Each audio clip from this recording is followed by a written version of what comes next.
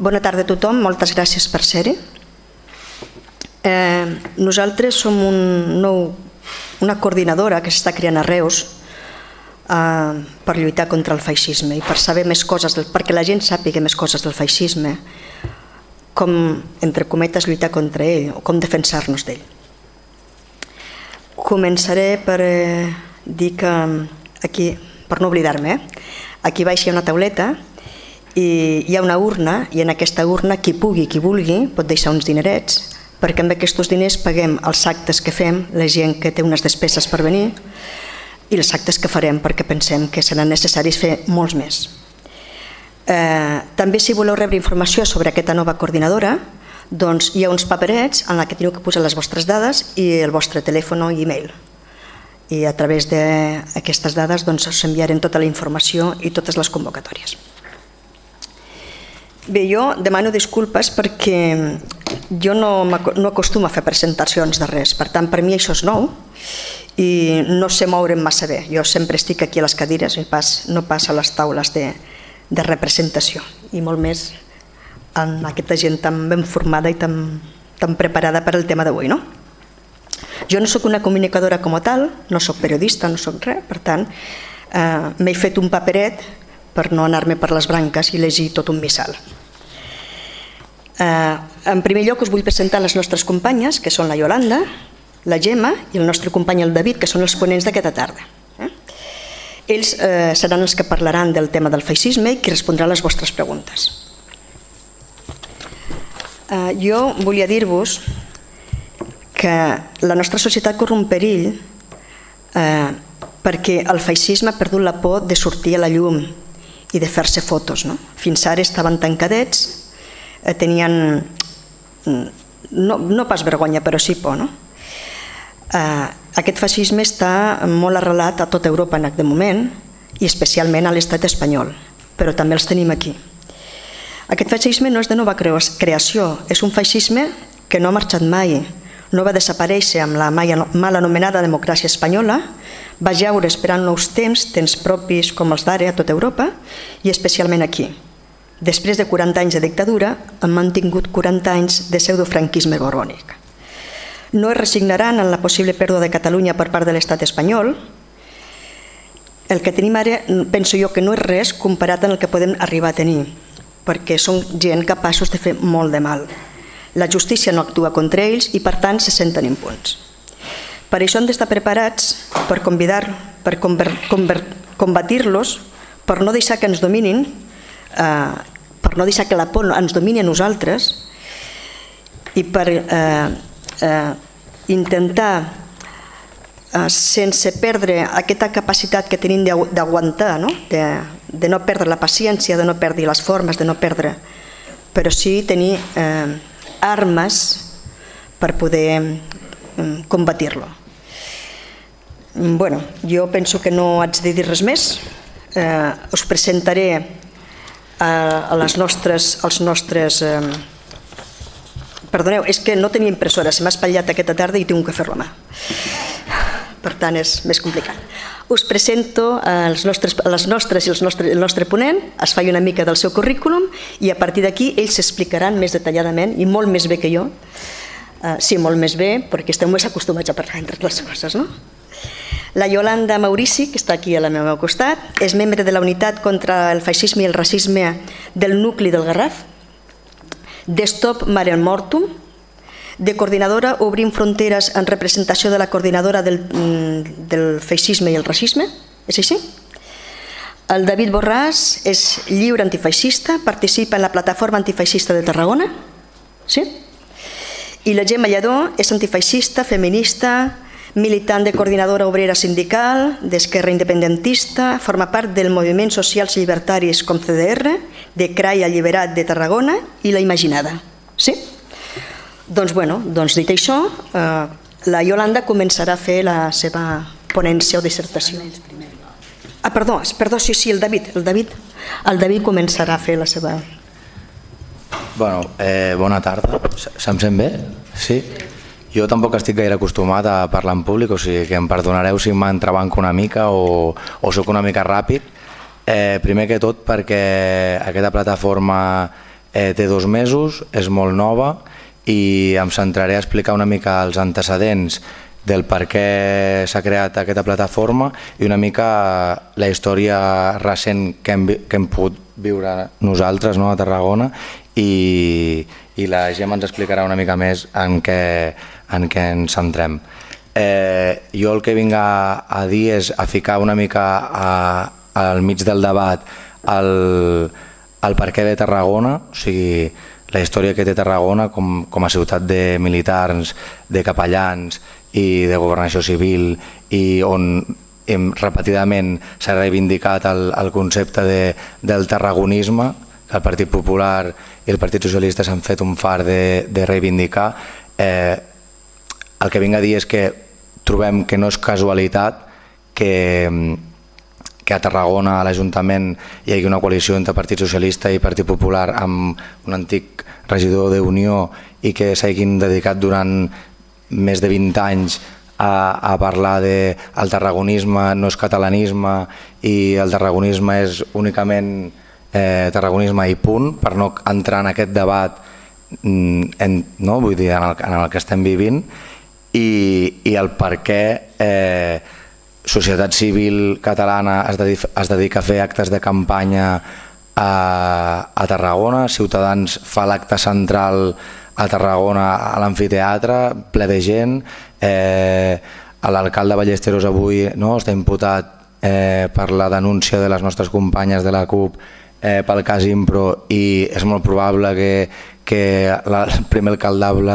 d'una de ciutat de les ciutats grans de Tarragona sigui de Ciutadans, no? si, si seguim les estadístiques de, de les últimes votacions i com l'extrema dreta o els grupúsculs d'extrema dreta eh, de Vox eh, es passegen per Tarragona a les manifestacions sense cap tipus de problema i antigament eh, la MSR, el Movimiento Social Republicano, eh, Alianza Nacional, eh, han anat creant les seves cèl·lules a Sant Pere i Sant Pau, Vilaseca, eh, aliances amb grups de moteros, eh, s'han dedicat a, a s'han anat introduint dins de les llistes de ciutadans, s'han anat estan tots identificats dins dels grups dels GDRs que les nostres companyes dels CDRs també han patit diverses agressions durant aquests últims mesos eh, i com no, la necessitat de, de, de, a través de l'organització i l'autogestió de, dels moviments socials de Tarragona, esquerra independentista, els moviments llibertaris, eh, els CDRs, doncs es, es va veure la, la, la necessitat de crear aquesta plataforma que coordinés i englobés una mica la denúncia, la denúncia antifeixista, vull dir, la denúncia de, de, de les agressions i, i, de, i dels actes feixistes. Una mica ficar el per què de, de tot això. I ja està. Bé, com eh, estava introduint a, el David, el company, eh, no és casualitat que la plataforma neixi eh, just ara en, en tot aquest eh, moment del procés. No? Eh, és cert que les companyes que vam iniciar això ens coneixem dintre dels CDRs però el que sí que teníem molt clar és que el que no volíem eh, és que es relacionés eh, només amb, un, amb una lluita de banderes. Eh, per les components de la plataforma no és aquest el significat, no lluitem només per un, per un canvi de bandera o que eh, directament s'associï només amb una bandera, l'espanyola o la catalana. El feixisme va molt més enllà de tot això. Eh, homofòbia, eh, racisme, o sigui, lluitem contra una cosa que va més enllà.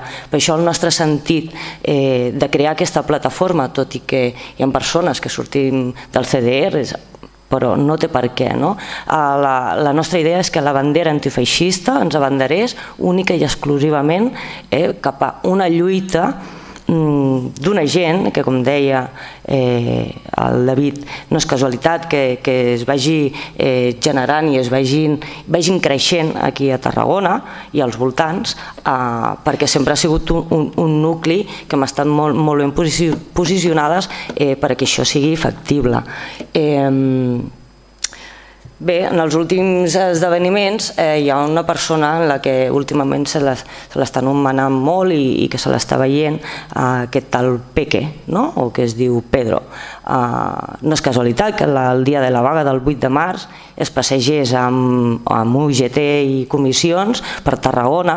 No és casualitat que eh, la que es va fer eh, per a demanar l'equiparació de Policia Nacional i Guàrdia Civil estigués eh, cridant ell les consignes que aquesta gent tenia que cridar, no és casualitat totes aquestes coses. Vull dir, estan creixent, eh, cada vegada més, es dediquen anar pels barris, encartellaments pels barris, Torreforta, eh, Sant Pere i Sant Pau eh, i Comar, bueno, tots aquests barris que, coneix, que coneixeu eh, pel voltant de, de la ciutat. Mm, és molt, és, és molt curiós com aquesta, per exemple, aquesta encartellada de la que us parlo a Tarragona ciutat no la van veure perquè a, a, a Tarragona ciutat eh, no, i als barris sí, no? i a més amb, amb unes consignes eh, totalment que, bueno, que el cap feia així com un xispazo, no? que deies, bueno, és increïble. Doncs eh, bé, tenen molt clar en quin perfil de gent han d'anar, eh, la bandera és l'únic que eh, bueno, els hi posen al davant i, i, i és, i és l'únic que ells veuen, llavors eh, aquesta gent que és que no troba una resposta política es veu emparada per aquest altre discurs, llavors aquí hi ha tota una maquinària que es posa eh, en marxa. Maquinària vull dir eh, mm, partits polítics, premsa, gent al carrer no? que fa efectiva doncs, allò, aquell discurs que el grup eh, polític de Tor diu des de la seva cadira. Tot això és un, un engranatge que està molt ben pensat, molt ben calculat i, i, bueno, i de, de fet doncs, veiem eh, totes, totes aquestes agressions eh, al carrer. Mm, incidents a Cambrils, eh, per col·locar llaços, incidents a Tarragona, eh, bueno, ja podeu seguir vosaltres mateixes le, eh, les notícies, tot allò eh, que ens trobem. Per això vam, estàvem inquietes i, i veiem que era una, era una necessitat imperiosa no? de posar fre eh, a, tot aquest, a, a, a tot aquest cultiu de gent que és és indesitjable, no volem això al nostre carrer i hem de parar-ho, hem de lluitar perquè en un futur les nostres filles eh, puguin ser lliures en, a, pel carrer, puguin sentir-se lliures i, i no anar amb, amb l'angoixa eh, de, que, de tot això el que, del que significa.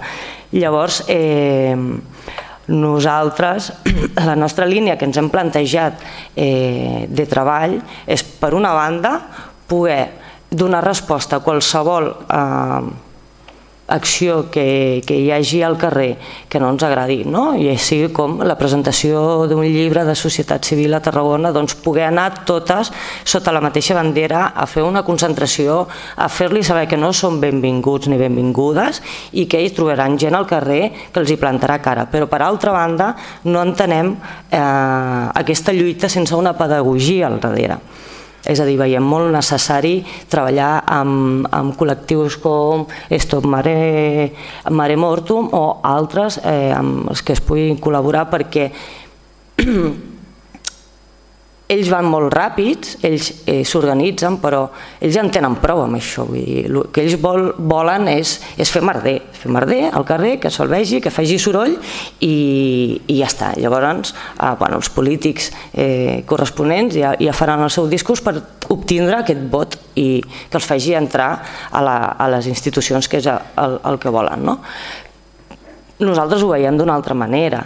Eh, i creiem que la lluita antifeixista hauria d'estar a les escoles, és el dia a dia, és, és com tu eduquis no? al, al jovent i a, a les criatures que, que pugen perquè realment entenguin i comprenguin que eh, la necessitat de, de, de ser lliures i poder triar la teva condició sexual, eh, la teva condició d'estimar, mm, vull dir, han de ser sobretot lliures. I bé, i com deia el David, doncs, doncs fa poquet que ens hem creat, podríem dir-nos plataforma com ens podríem dir coordinadora, com, no sé, grups d'amics i amigues, no? Eh, vull dir, amb tot això que, que, que ells creixen, però nosaltres també. Vull dir que entre totes ho farem.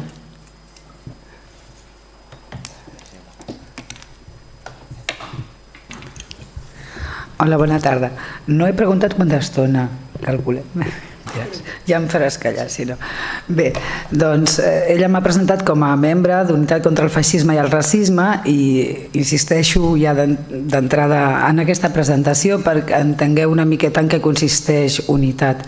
Unitat contra el Feixisme i el Racisme és un moviment social mm, vol dir això així ja d'entrada que seria, mira, tipus el CDR, no? no tenim estatuts, no tenim jerarquia, no tenim una junta directiva és un conglomerat de, de persones i de gent que l'any 2010, eh, veient que Plataforma per Catalunya mm, tenia intenció de créixer i presentar-se a les autonòmiques, ens vam organitzar per intentar aturar aquest fet, no? que poguessin conquerir més institucions, perquè teníem aquesta por, en un moment que més ens deien que ens equivocaven. Fa, aquests anys, fa vuit anys ens deien que no, que això del feixisme Bueno, són aquelles coses que a vegades et sap greu tenir raó, però mm, la cosa es veu clarament, no ens equivocàvem. El feixisme no acaba de desaparèixer mai, sempre hi ha hagut els nostàlgics del franquisme, sempre hi ha hagut aquest antifeixisme, ai, perdó, aquest feixisme més, més caspós i, i de sempre, però sempre hi ha hagut també grupuscles, tant grupuscles violents als anys 80, eh, els que són més grans ens recordem, com gent que ha estat mm, atacant la comunitat LGTBI, gais, lesbianes, o les persones pel fet de ser pobres. Eh? A Barcelona havíem enterrat persones perquè bueno, havien resultat mortes pel simple fet de ser pobres. Per tant, és una cosa que sempre, desgraciadament, està present i és una mica com una plaga, sempre dic allò que és com, allò, com els escarbats, eh? hi ha el control de plagues, no hi ha mai l'extermini total. I el que hem de procurar és que no surtin de la claveguera i no creixin. Eh? però de fet sempre, sempre ha existit. I sempre fa intents de, de prendre el poder i clar, amb el temps eh, doncs n'han anat aprenent i copien Aquí també hi ha, hi ha arribat el que està passant a tota Europa, que és que creen partits que reneguen del seu passat nazi, l'exemple més clar és la, la Marine Le Pen, eh, que ara està barallada amb el pare, representa, perquè no ens en recordem doncs, que aquest senyor tenia admiració per Hitler i Mussolini, però a veure, per més que es maquilli, és un partit d'extrema dreta i amb la mateixa ideologia nazi. Mm? Llavors aquí també passa el mateix i volen conquerir les institucions i, i neix plataforma. Van estar a punt eh, d'entrar, aquella nit van patir, aquella nit vam estar fins a les dues, les tres, que tenien dos diputats, que en tenien zero, que en tenien tres, que en tenien zero, per allò de la, del percentatge, i per sort finalment no van, no van entrar. Però a les següents municipals, a les següents municipals van fer el gran salt. Van entrar en 69 municipis de Catalunya és, és, és molt bèstia. Eh? Van anar sobretot a, a, a entrar a les capitals de, de comarca i en molt pocs llocs se'ls va poder aturar. Al cap de quatre anys més podem dir que pràcticament se'ls va fer desaparèixer i se'ls va fer desaparèixer per l'acció d'aquests grups eh? que a nivell local es preocupen, s'organitzen, surten, expliquen, treballen dia a dia i se'ls va assenyalar també hi ha un debat que sempre surt, allò de si anem de parlar, no anem de parlar, els ajudem a créixer, a veure, el, el posicionament d'unitat en això, que, que és a base d'assemblees i haver anat parlant, és que, que sí, que, que, que i tant que n'hem de parlar, però hem de parlar-ne per assenyalar-los. El que no creiem que estigui bé és el fet de donar-los veu. No sé si us heu fixat que últimament, no sé si per la pressió que tenen també, eh? els mitjans estan convidant cada dia més feixistes tan tranquil·lament. És, ostres, és que eh, hi ha països de la Unió Europea que ja que en parlem tant, personatges que aquí estem portant a la televisió i a TV3 fins i tot, que cada vegada que ho fan els escrivim, ei, eh? que estarien a presó que estarien a la presó perquè estan difonent odi, perquè estan intentant enfrontar i aquí els convidem. Ja no parlo de Ciudadanos, eh? parlo més a, a veure quan porten la Fundació Francisco Franco o un falangista o porten Vox que no té cap diputat ni cap representació, per, per tant no estan obligats a portar-lo, què estan fent? Llavors, a veure, el tema parlar-ne o no parlar-ne, sí que se n'ha de parlar, però per fer-los pupa. A nosaltres no ens estimen gens. I no ens estimen perquè el que fem és assenyalar-los. És explicar amb qui tenen vinculacions, és explicar que eh, se'n van a Itàlia per aprendre mètodes de, de, de salt. A Itàlia hi ha un sindicat, eh, l'Estudantesco, que va muntar a Casa Pound i a darrere d'aquest sindicat juvenil que pretesament els agrada molt l'ecologia, s'han rentat la cara, ara van d'excursió, els agrada l'ecologia, tal, però són 10.000 i no sé si heu sentit que de tant en tant hi ha algun assassinat a, a Itàlia, però al mig del carrer, al centre de Roma aquest mateix estiu, i ja fa uns quants anys a una, dos senegalesos, el líder de la Lega Nord, per, perquè va treure una pistola i pim-pam, perquè eren negres. Doncs allà és on van aprendre'n. Ah, llavors, clar, tot això, si ho sabem, ho expliquem i ho assenyalem. Ens ajuden molt periodistes, alguns que són més coneguts com en Jordi, d'altres que no tant, però que fan una feina excel·lent de perseguir, mirar, vigilar. També se n'han anat a Grècia. Plataforma per Catalunya es va fer unes samarretes la, la secció juvenil de color negre que eren clavades igualetes que les d'Alba Daurada Alba Daurada sabeu que entraven en poblacions petites arrasaven amb tot cremaven poblats com també estan fent a Hongria que estan cremant poblats de persones gitanes de nit a Itàlia van matar tres nenes que estaven en una caravana vull dir que mm, no, no ens ho hem de prendre a broma, això creix i a més a més creix d'un dia per un altre i normalment agafa desprevingudes les societats on, on creix. El cas de Grècia és paradigmàtic. A Grècia tenien, no tenien cap representació i, i vaja, eren una, una, una anècdota. No tenia força l'extrema dreta i surt el Daurada i creix com l'escuma amb el discurs d'odi contra les refugiades allà i, i, bueno, i sortint amb aquesta estètica paramilitar i, i que això hi ha gent doncs, que, que ja n'hi va, deu tenir algun problema i, i, bueno, i això és el que passa. Llavors, quines eines tenim per combatre això? Doncs, hi ha una feinada de por.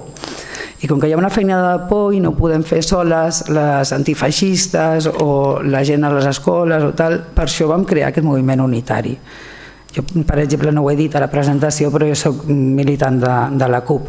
No estic aquí en qualitat d'això. Hi ha unitat contra el feixisme, hi ha gent de moltes militàncies, de moltes, molt diverses. Independentistes, no independentistes, unionistes i gent que encara no ho sap perquè tot just sobreviu venent productes amb una manta. Que tampoc allà el que, el que fem és juntar les forces, totes les que són perseguides, tant la comunitat LGTBI com les persones migrants, com Sor Racisme, els memorialistes, Amical de Mahausen també hi és, que fan una feina excel·lent a les escoles Amical. Eh, sindicats, jo diria que hi són tots. Mm, bueno, tenim com ara 600 entitats adherides. Vol dir això que totes estan a peu del canó? No, no, no, no, però si més no, hi ha hagut una junta o una assemblea que s'ha fet el plantejament, escolta, no ens hauríem d'adherir en això, perquè és clar, això és important, se li ha de donar suport, i això ens ajuda a teixir xarxa i, i a, per exemple, el tema de refugiades, passar de manifestacions que eren 1.000 i estàvem contentíssims. Quan eren 1.000 a ser-ne 2.000, 3.000, fer el salt a 30.000 i després que tothom vingués a dir que volem acollir perquè hi ha una campanya mediàtica molt forta, tot s'ha de dir. Però, a veure, eh, vam anar a buscar això. Quan vam iniciar el moviment vam dir hem d'aconseguir treballar juntes perquè és que això ens afecta a totes i entendre que això ens pot afectar en qualsevol moment. Tant pot ser que, com a mi m'ha passat, que, que la nena torni de l'institut i perquè d'una estaladeta als texans mama me la posaràs, doncs me l'encerclen 4 o 5 i va venir la nana i aquells mateixos són els que li arrencaven el hijab a la seva companya marroquina. Són els mismos, eh? Bueno, doncs això ens pot afectar en qualsevol moment i, i a més a més estem veient que cada vegada la onada repressiva es va fent més, més, més i més forta. Què fem? Bueno, per una banda, en els partits pretesament democràtics, perquè això seria discutible, eh? alguns dels que, dels que fins ara estaven homologats com a demòcrates bueno, tenen una tirada al totalitarisme important, però en aquests partits que tenen representació política, els ajuntaments, els parlaments, els governs, els exigim que s'allunyin de tot el que sigui racisme, xenofòbia i feixisme. I quan no ho fan, els assenyalem. Eh? Eh, què més fem? Fem, fem campanyes Per exemple, ens hem centrat molt, molt, molt en, en el tema islamofòbia, perquè si hi ha una cosa que comparteixen actualment tots els partits de l'extrema dreta europea és la islamofòbia. Si ens posem a comparar, no n'hi ha cap que no sigui islamòfob. Després, clar, hi ha versions. Eh? Aquí veuen una, una estelada i es posen molt nerviosos, però això no passa ni a Grècia, ni a França, ni a Alemanya. Però, en canvi, a tot arreu són islamòfobs. És dir, llavors hem estat fent moltes campanyes intentant trencar amb, amb aquestes campanyes que són mentides bàsicament per dividir-nos, per dividir-nos i fer-nos més febles. Hem treballat molt el tema refugi i com ens organitzem mm, sobretot a través de, de grups locals, una mica el que, el que esteu fent vosaltres. En cada comarca o, o ciutat o nucli que decideixen organitzar-se per, per crear aquest moviment unitari eh, fan el seu full de ruta, trien les seves estratègies perquè és que depèn molt de la realitat del lloc, de quines forces hi hagi allà, com també de, de les possibilitats, de quan som, de quin, què podem fer i què podem deixar de fer. Eh? Això d'aquestes campanyes, perdó que no us ho he ensenyat, n'he deixat a l'entrada, fem aquest tipus de cosa, octavetes, eh? i sortim molt a repartir octavetes al carrer el dia de mercat o quan fem una xerrada o quan no sé què. Bueno, fem això en conjunt, procurem fer edició de materials, eh, no tenim quotes, perquè clar, si no tenim socis ni assemblea ni som una entitat, funcionem en plan impost revolucionari. Aquestes entitats adherides, a les grosses, de tant en tant els hi parem la mà tu no t'havies apuntat això? I bueno, de moment van pagant. I llavors és amb això que anem editant materials, però no, no tenim un a darrere, que a vegades ens acusen, ens diuen, sois subvencionados, es fan un liu. Eh, no, no, nosaltres no. Eh, que es refereixen potser a, entitats grans com Sor Racisme, que també forma part, o com Amical, però unitat com a tal, tots junts no, no, rebem, no rebem res.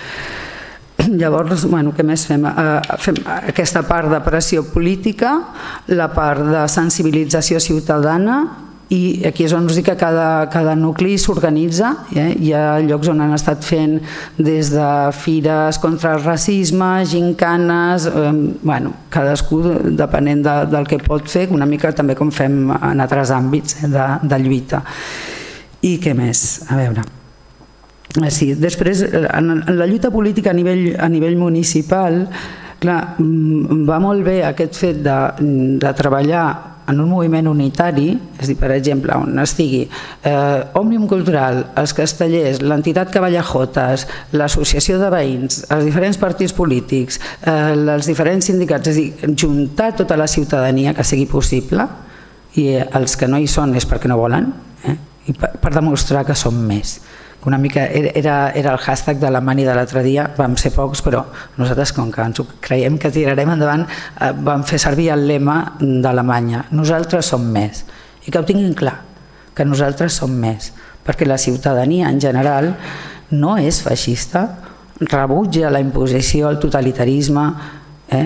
Volem conviure en pau, volem poder expressar-nos políticament, no estem d'acord en que es vagi atonyinant la gent pel carrer, ni per posar un llaç groc, ni per dir-se Mohamed, ni perquè, per res. Eh?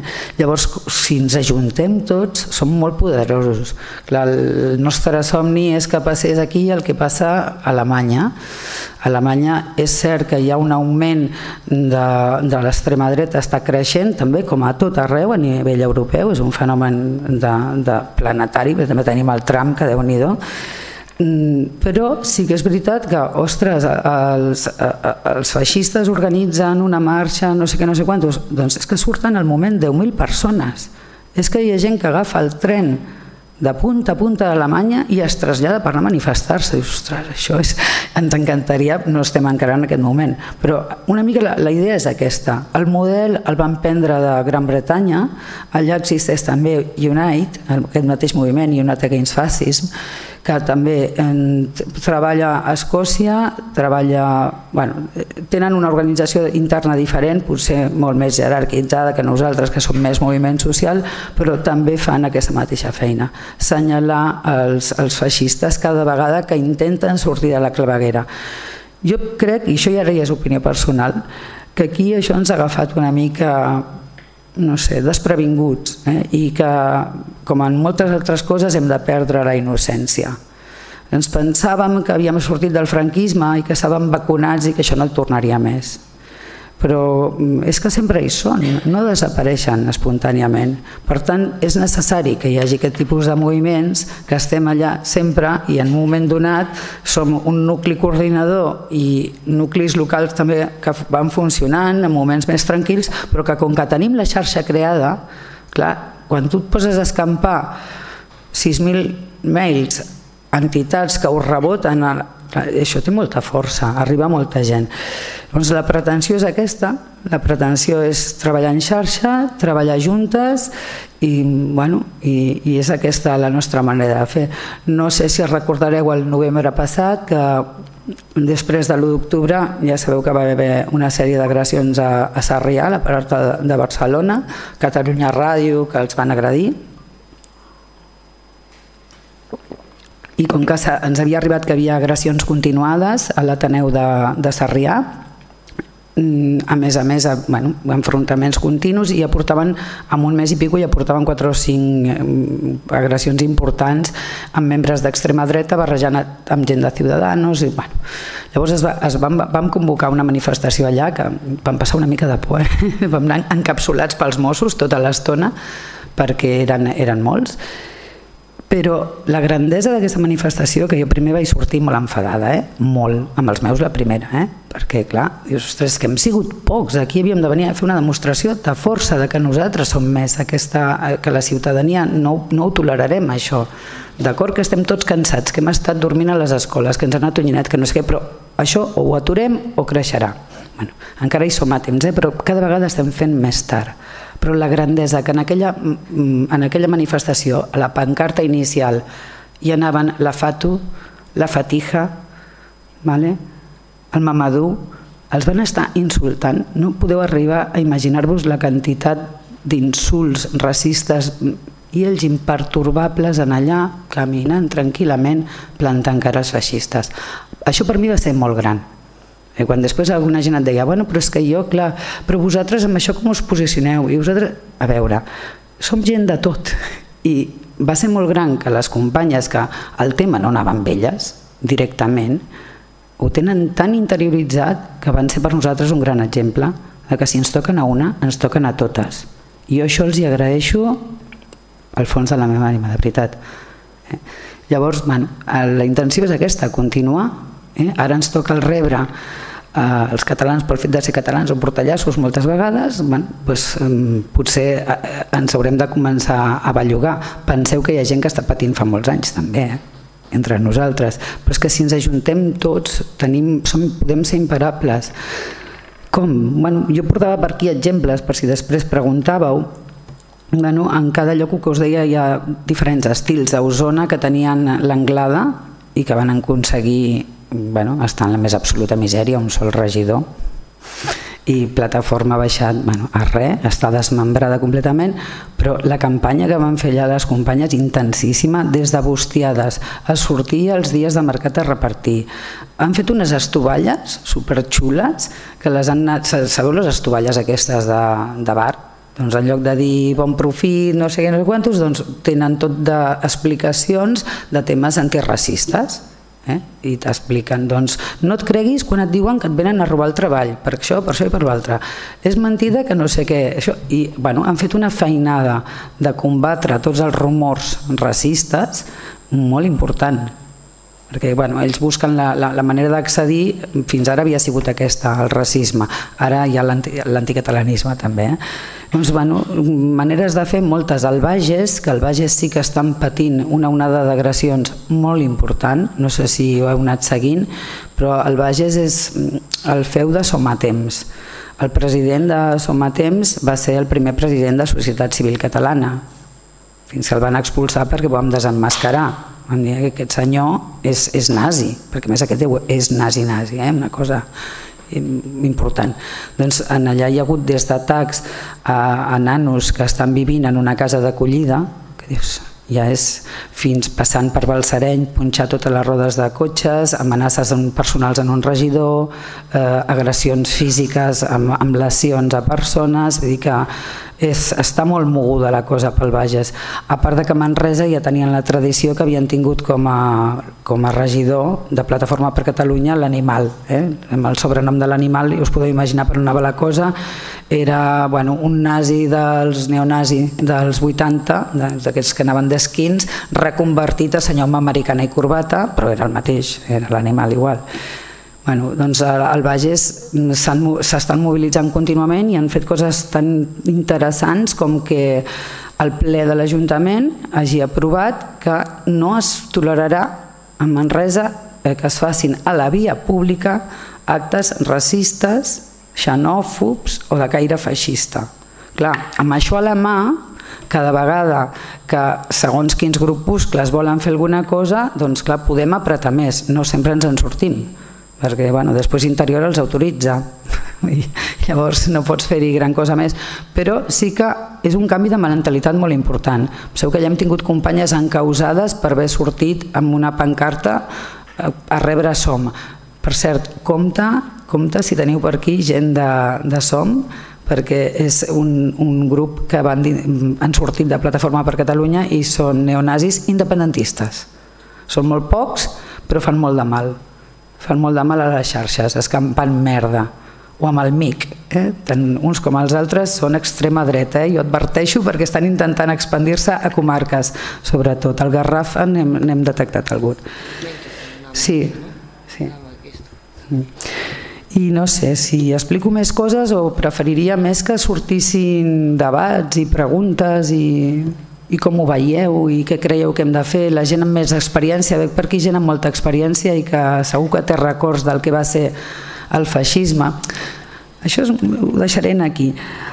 El tema de feixisme, si hem de dir qui és feixista, qui no és feixista, perquè ara tothom, tot és feixisme. Bueno, també ens diuen nazis a nosaltres i no passa res, no res però, però amb això sí que som especialment curosos, fins i tot vam emetre fa anys enrere, quan encara no estava la cosa tan calenta, un comunicat conjunt amb Miquel de Mahausen, amb Sor Racisme, demanant, demanant eh, que no es banalitzés amb una cosa que havia sigut tan seriosa i que tenia tants milions de morts a les esquenes. Llavors, clar, jo he anat a veure, per exemple, la Neus Català i, i, i bueno, supervivent d'un camp d'extermini. Clar, mm, si amb ella li dic que segons qui és, és un nazi, doncs jo crec que és faltar-li el respecte amb el que ella va passar que va veure com es budellaven els seus companys, bueno, ja ho sabeu el que van passar. Llavors, amb això som molt curosos i aquí sí que dona perquè feu un debat, que aquí ja no, no hem de venir ningú a fer receptes, de veure com, com de cara a l'opinió pública, com podem assenyalar cadascú eh, i anar-lo ubicant. Eh? Tenim una extrema dreta, tenim gent d'aquesta extrema dreta que a més a més és filofeixista, que li va, eh? la cosa li va, com passa moltes vegades en, amb el Partit Popular, que han tingut per allà gent, bueno, amiga de la Legió i què tal. Després hi ha, el que és la, la connivència amb el feixisme, que és deixar-los fer i, i, i que ja em va bé que estiguin fent això perquè això em beneficia a mi. Això ho està fent Ciudadanos clarament. Mm? I llavors ja arribaríem a el que seria el feixisme pur. Nazi i hem tingut alguna denúncia eh, per haver fet una octaveta assenyalant un grup dient eh, que no votaries nazis i ens van denunciar. No ha passat res, hem guanyat. Però mm, ens assessorem cada vegada més a nivell d'advocats. És patètic que haguem d'anar així, però clar, no tenim els calés que tenen ells. La manifestació que va haver a, a Barcelona, diumenge, per exemple, van portar 45 autocars. Això era pagat per un tal senyor Pazo, que és un empresario i que havia gent que ens deia no, però és que esto lo hace un empresario i, i que no, que nosotros no somos fascistas, que tal? Això per escrit als, als twitters i facebooks.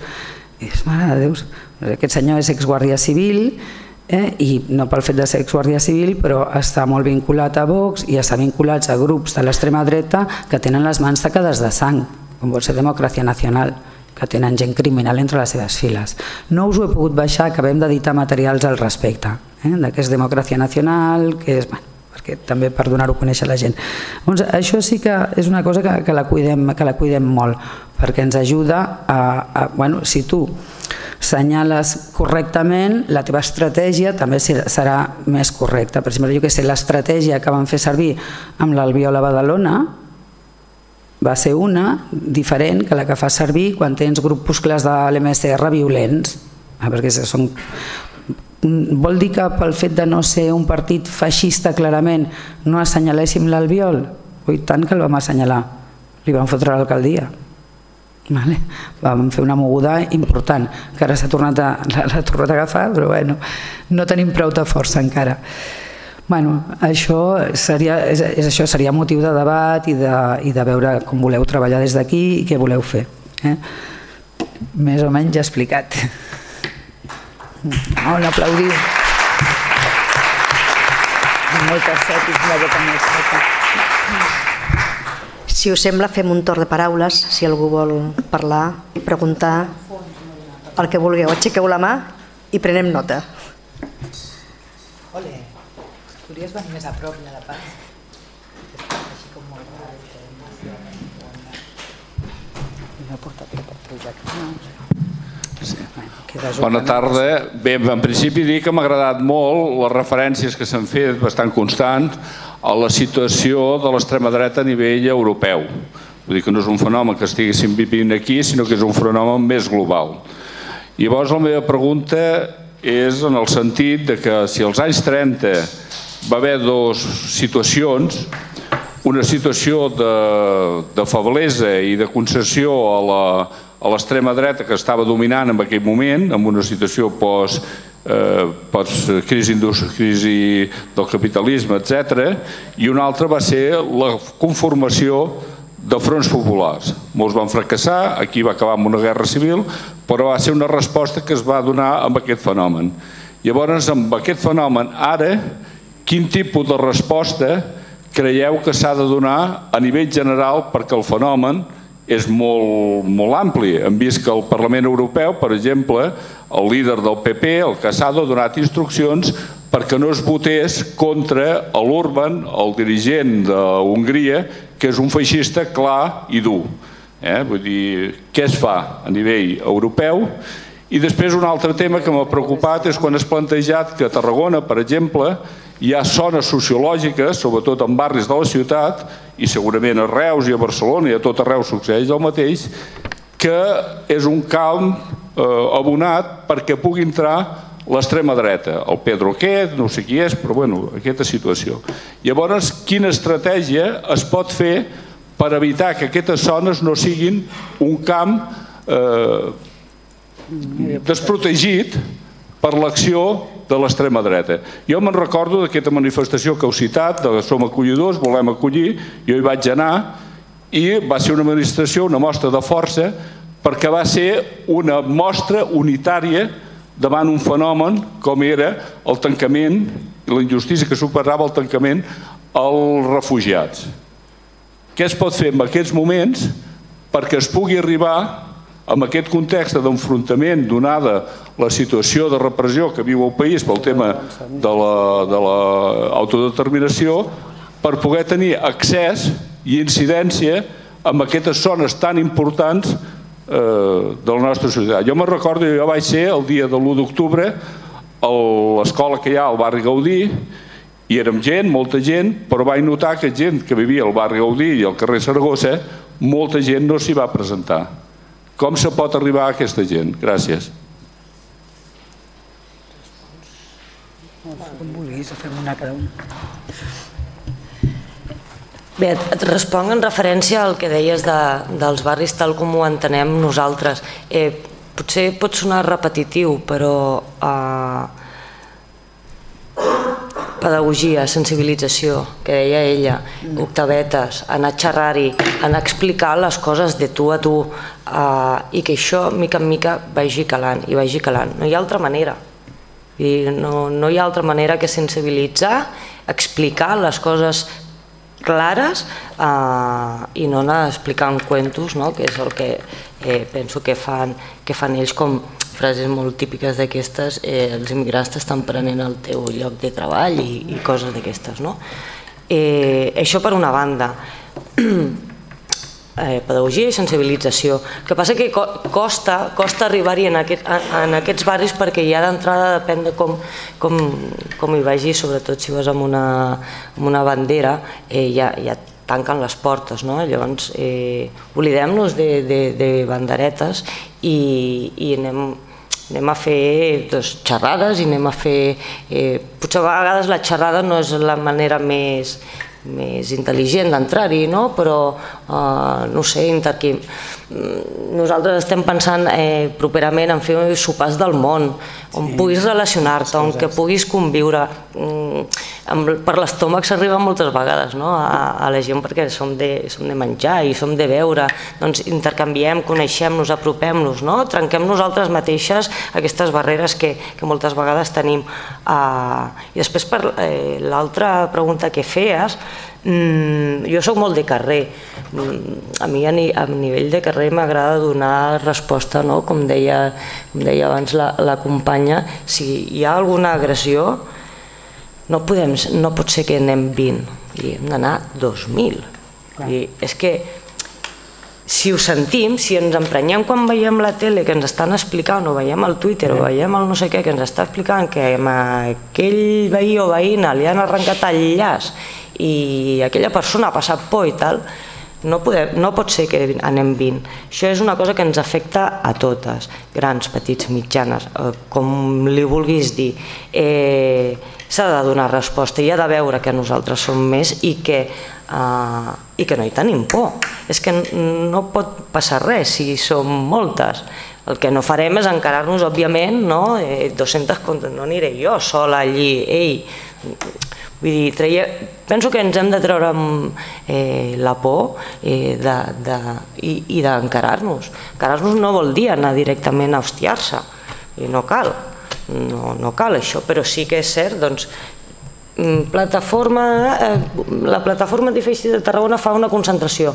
No passa res per, per anar-hi, no passa absolutament res, però és una forma que també nosaltres tenim d'empoderar-nos. De, a nivell institucional, bueno, potser, eh, potser la Isabel ens podria donar, dir com, com arribar-hi no? d'una altra manera, jo no t'ho no sabria eh, respondre, però sí que és cert doncs, que abans ja has comentat eh, doncs, que des de Berga no, s'havia prohibit qualsevol eh, expressió al carrer, doncs, bé, doncs és una forma no, de que si això es pogués exp eh, expandre no, o expandir als altres ajuntaments, doncs és un què. Bueno, sí, el nosaltres som més creure'ns-el, com diu ell, i ens ho hem de, ens ho hem de creure perquè, perquè més és veritat. Però no només que nosaltres som més, sinó que hem de ser, nosaltres estem organitzats. Però si fem referència als anys 30, clar, una de les coses que va passar, per exemple, a Alemanya, és que havia qui veia molt clar que s'havia de plantar cara al feixisme d'una manera, l'altre volia plantar cara d'una altra i l'altre mmm, potser que no, que són quatre gats i Hitler va guanyar unes eleccions i, i va, l'endemà mateix en els que no van voler plantar-li cara els fotia a la presó també burros. Això va ser greu. Per això neix una mica unitat contra el feixisme i el racisme. Hi ha un llibre que no sé, sembla que encara es troba, que, que va ser una mica l'espurna que ens va fer començar, mm, que es diu No passaran aunque lleven trajes, que era de tot de companys de molt diverses procedències que, que estaven ja alertant i el, el, el, dos, el 2010 d'aquest creixement del feixisme europeu que ja, ja veiem el, el germen i que anava pujant. Què es pot fer a nivell d'Europa? Mm, doncs la recepta no la tenim, però ara, per exemple, a l'octubre hi ha una trobada a Atenes, que hi anem, ja fa 4 o 5 anys que es fa, on ens apleguem gent de tots els moviments unitaris, de tots els moviments ciutadans que estem fent front al feixisme a nivell d'Europa. Arrel d'aquestes trobades, eh, que allà van ser molt els sindicats els que ho van impulsar, els sindicats van deixar de banda, si un era anarquista, l'altre era comunista i l'altre era socialista, i penseu que allà a Grècia les militàncies són dures, eh? doncs ho van deixar de banda per sortir a defensar els seus companys perquè no, no van tolerar que s'apellissés doncs, una persona per ser pakistanesa o per ser de color negre i aquí va néixer KERFA, KERFA que és el moviment unitari que hi ha allà. Doncs arrel d'aquestes trobades, cada 21 de març o, o més o menys a prop, pot ser el 20, pot ser el 18, depèn com cau, es fa una manifestació a diferents ciutats del món simultàniament. Se n'han fet ja a Chicago, a Nova York, a París, a Londres, a Alemanya, unes, a unes quantes ciutats, a Grècia 4 o 5. A l'estat espanyol, de moment, només a, a Barcelona, eh, a Catalunya, i ara, eh, països catalans, també els companys de la Crida, que ja es diuen la Crida, el nostre moviment germà a València es diu la Crida, dos també doncs, bueno, doncs coses com aquesta, no? d'estar de, en contacte, de passar-nos informació, és que però després l'altra la, cosa és apretar en els polítics que facin el que els toca, que no pactin amb qui no han de pactar, que no s'hi facin fotos, que no vagin a manifestacions de la mà amb feixistes. Per exemple, no ho amagarem, el Partit Socialista havia estat a Unitat contra el Feixisme. En el moment que algun dels seus membres comença a anar a manifestacions de societat civil catalana, ja bueno, podem dir que Societat Civil Catalana sigui una organització feixista? No, no ho, diu, no ho diu ningú, ni qui més l'ha investigat. Però sí que sabem que el seu president va ser un feixista declarat.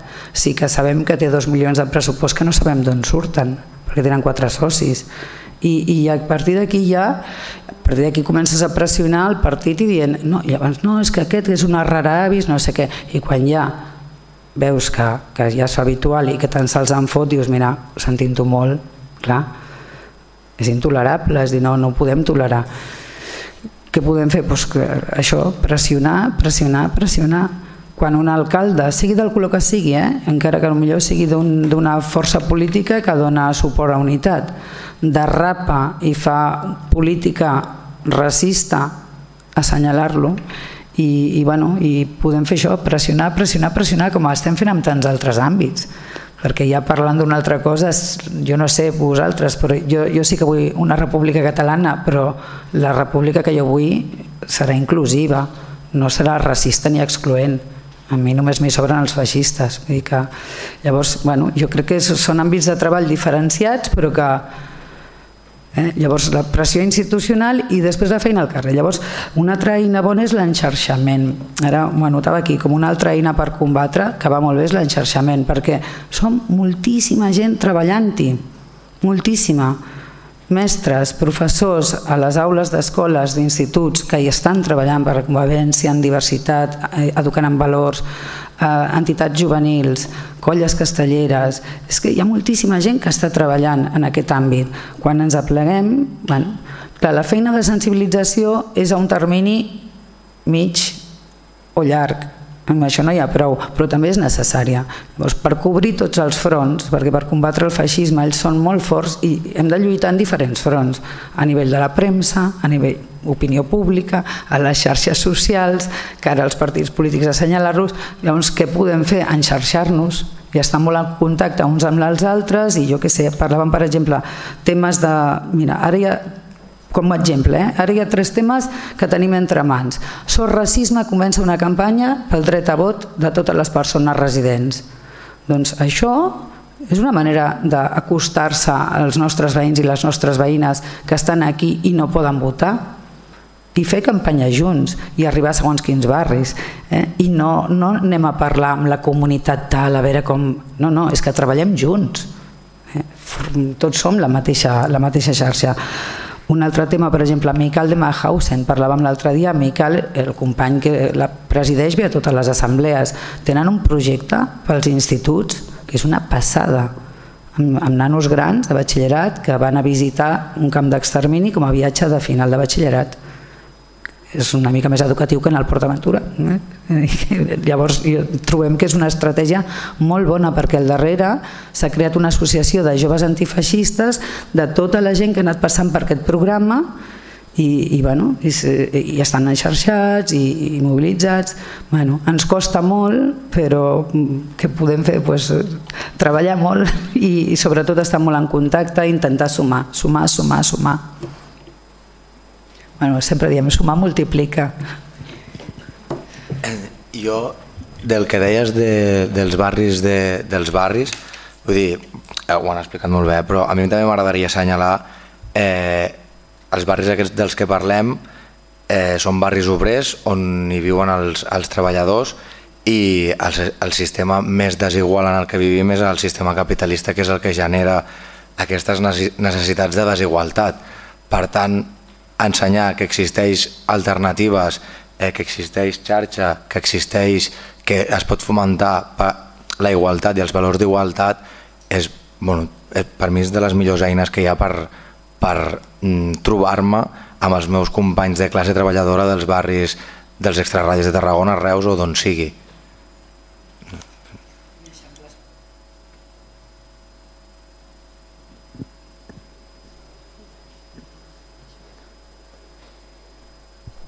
Algú més vol aixecar la mà?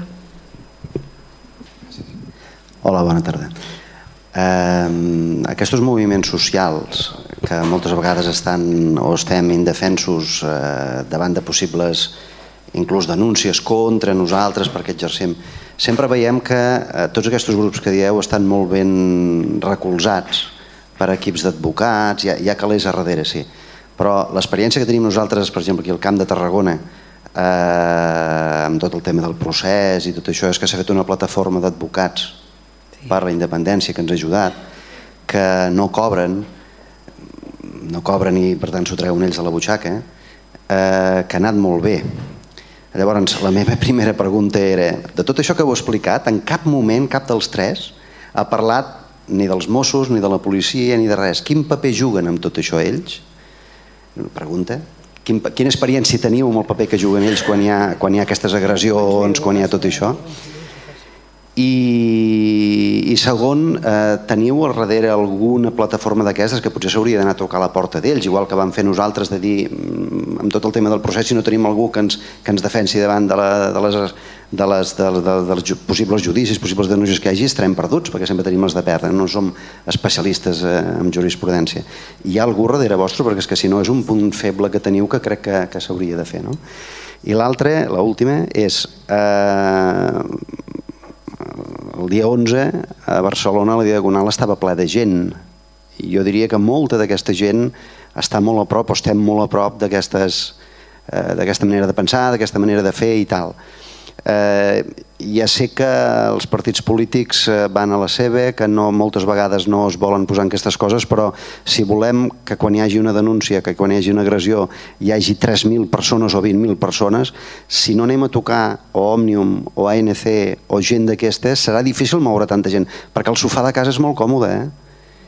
I la gent, si no li dones un incentiu per sortir, no surt sempre ens trobem els mateixos a organitzar coses. Vosaltres s'hi deveu trobar, nosaltres també. Llavors, potser estar recolzats també per aquestes agrupacions tan numeroses faria que eh, eh, tinguéssiu aquesta sorpresa doncs, que hi ha molta gent quan hi ha un, un toc de pito i la gent sortim al carrer a ajudar-vos. No? Contesto?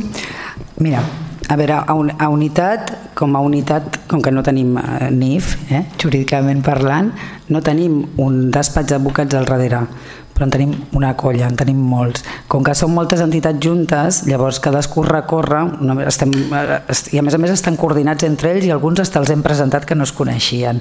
Doncs des d'Iridia, que està defensant temes de drets humans i que també es, ens, ens està ajudant en temes de, de procés en un altre àmbit, passant al despatx d'advocades MAT, que hi ha la Laia Serra, que va defensar l'Ester Quintana, és la de capçalera Laia, esto, que això ho podem dir, no ho podem dir, la truquem contínuament, i llavors hi ha cadascú depenent de l'organització on estigui. Si l'agredit és un company de la CGT i a darrere la CGT té un bon gabinet d'advocats, doncs a CGT, o a vegades et truca algú, mira, vam tenir un cas no fa pas massa Igualada, aquest no tenien ningú concret, havia sigut una agressió, de quin tipus d'agressió? Racista, truquem a l'Alicia de SOS. El que fem és això, com que estem enxarxats, doncs depenent del cas tirem d'un o tirem d'un altre eh, i, i ens passem les informacions i de més. Sorna vam tenir el Vendrell, que us queda més a prop, el Vendrell vam tenir un judici sobre l'altre perquè van intentar la via legal i bueno, i el tema de Mossos, policia, tal, jo, jo parlaria de poder, eh? en general el poder mm, sempre ha estat pròxim al feixisme això mm, de, de sempre.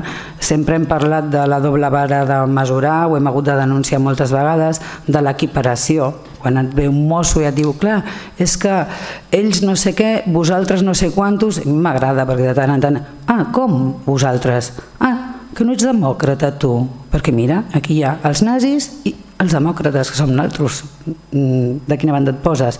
Perquè realment hem tingut, hem tingut casos flagrants de bueno, multes, llei mordassa, bueno, i això és, és així, és així. A poc a poc i veient doncs, el tarannà de la feina que fas i això et vas guanyant el respecte, però desgraciadament a les diferents eh, forces armades hi ha gent que, no sé, per lògica castrensa o per què, tot això li va una mica, tenen una certa tirada Eh?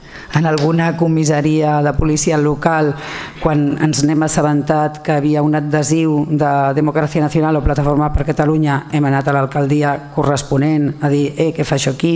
I si fa això aquí vol dir que hauries de vigilar qui tens. Bueno, què fem? El que podem una mica. I les agressions, posar-me d'exemple no m'agrada, però Vilanova i la Geltrú, que és una vila no gaire llunyana i que tampoc té un nombre d'habitants molt gran, són 60.000, una cosa així. Doncs, bueno, quan van agredir a una, a, una, a una nana, una companya, que estava fent, estava posant adhesius.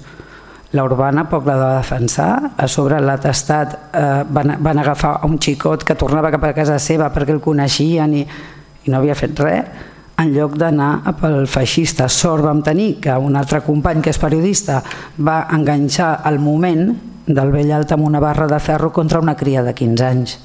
Es va revolucionar tota la vila i va sortir tothom, l'alcaldessa i tot. Era una manifestació tan gran no s'havia vist mai a Vilanova, dos, tres mil persones. Veure, sí, ja, ja es fa, però això gràcies a què? Gràcies a, a haver fet tota aquesta feineta d'anar a explicar Bueno, Òmnium forma part de la unitat, que també has anomenat Òmnium, també ho havia portat, no només forma part, sinó que l'any passat que va fer aquella campanya tan preciosa, el Lluites Compartides, a mi em va tocar d'anar a explicar també el Lluites Compartides i a més a més bueno, sempre s'han compromès i, i molt bé. L'ANC també forma part, hi ha més canvis de junta i bueno, ja has d'anar refent contactes Havíem treballat sobretot molt amb la sectorial d'immigració, que també en una sala molt bonica, també a l'Ateneu Barcelonès vam estar parlant de, Sí, això, això més o menys és. Per això quan després neix un grup local, el primer que els diem, mira't tota la gent que tenim adherida a nivell nacional, perquè clar, això t'anirà bé. Eh, escolta, mira, que no sé si ho sabíeu, però a nivell nacional esteu adherits en això, intentem a veure si podem muntar-ho aquí també. Bueno, si, bueno, els contactes hi són, el que passa que no sempre responen amb la mateixa intensitat, i a vegades que més i a vegades que menys. Però bueno.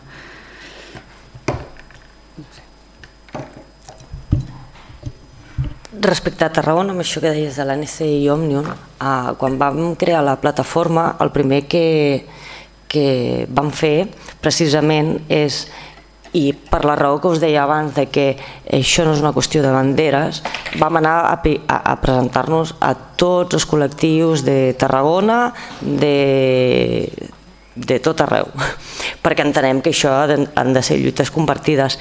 Eh, el que passa que la trobada, per exemple, amb, amb ANC i Òmnium no, no es va poder realitzar, però sí que es va, es va demanar.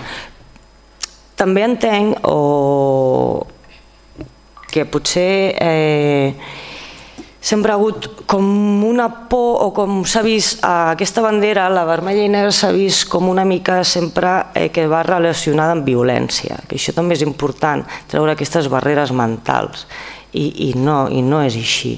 No? O sigui, aquesta bandera va molt més enllà de, de tot això. Uh, llavors aquesta por el, desconegut fa que potser a vegades no, no t'apropis no? O, o no vegis més enllà, llavors bueno, aquesta gent està convocant no sé què, però ui, aquesta bandera em fa com una mica de lluio i llavors doncs no hi vaig. Mm, clar, és un exercici de, de tots i de totes, no? d'obrir una miqueta la mentalitat i, i, i conèixer-nos. No? És la relació de ser així mútua perquè flueixi. I sobre el que deies de la policia, eh, la Guàrdia Urbana de Tarragona o els Mossos d'Esquadra estan al servei de les institucions i tot el que a Tarragona, com he explicat abans, tot el que olori a eh, independentisme, llibertari, comunista, moviments socials o... Mm, bueno, ja, ja hi ha precedents que els podeu buscar d'abusos de la Guàrdia Urbana i de, i de violència, vull dir, no, sé, no, no tinc gaire que explicar. Eh, sí, eh, si no us importa, eh, la pregunta en castellà perquè tinc més fluidesa de paraula, m'expreso millor. Eh, A mí hay una cosa que me preocupa desde hace ya muchos años y es que me estoy encontrando con personas, me estoy encontrando con personas, con muy buenas personas, que siempre han mm, sido bueno, pues muy colaboradoras con el tema de la inmigración, mm, muy afines, ¿no? Y que, bueno, pues después de la gran crisis que ha habido, eh, económicamente ya no están tan bien y están como muy dolidas eh, con el tema de que, bueno, pues eh, claro, a las personas inmigrantes, supuestamente o no, tienen muchísimas más ayudas a lo mejor que una persona que es catalana o que es española, porque esto es a nivel nacional por lo que yo estoy viendo, ¿no?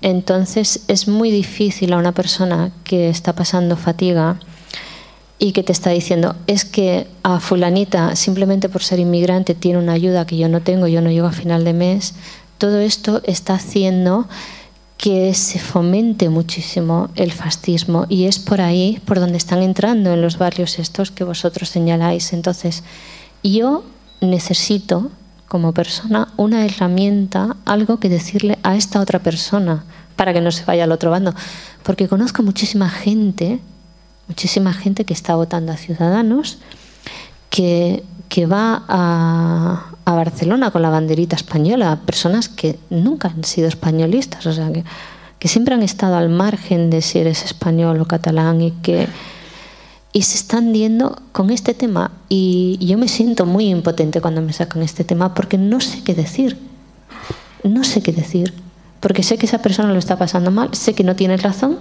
pero no tengo argumentos.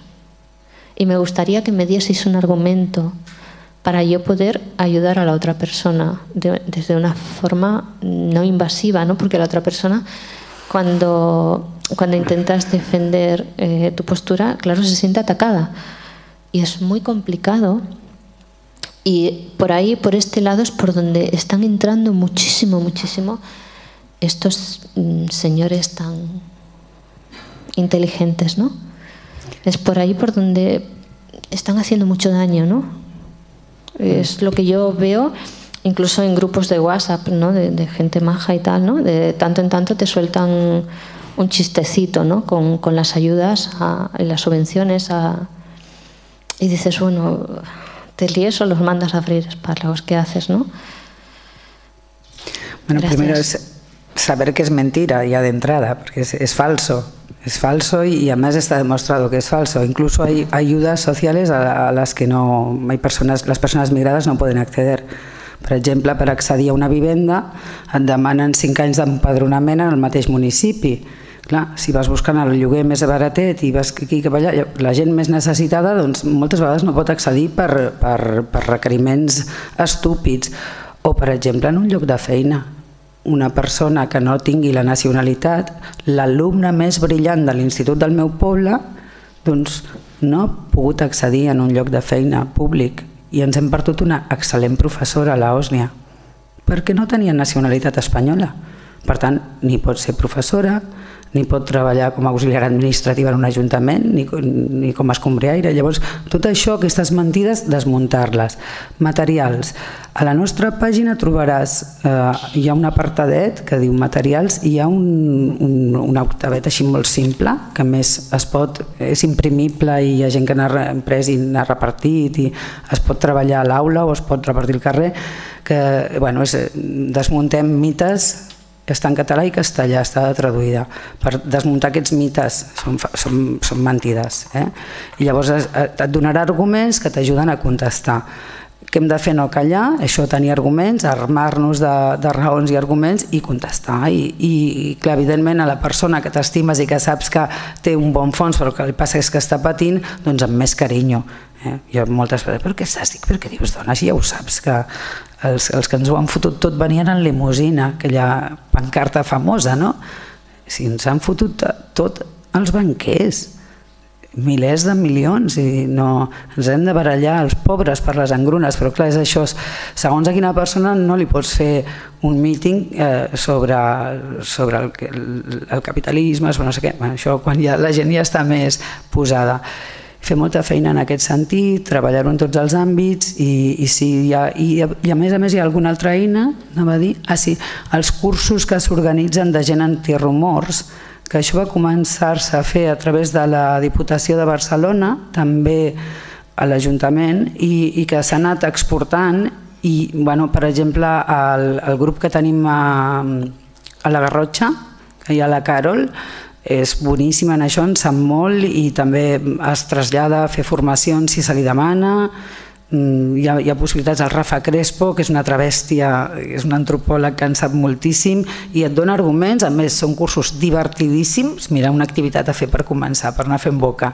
Tu passes molt bé, perquè ho escenifiques, et poses en situació i clar, quan, a més a més, quan tens les dades encara millor, perquè ets més contundent. Quan, però ja, de, de moment desmuntar-ho és mentida, tot això, és fals.